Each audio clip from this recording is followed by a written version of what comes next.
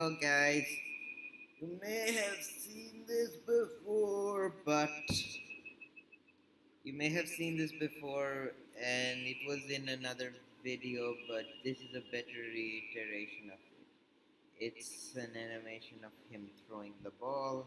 It's a better animation of him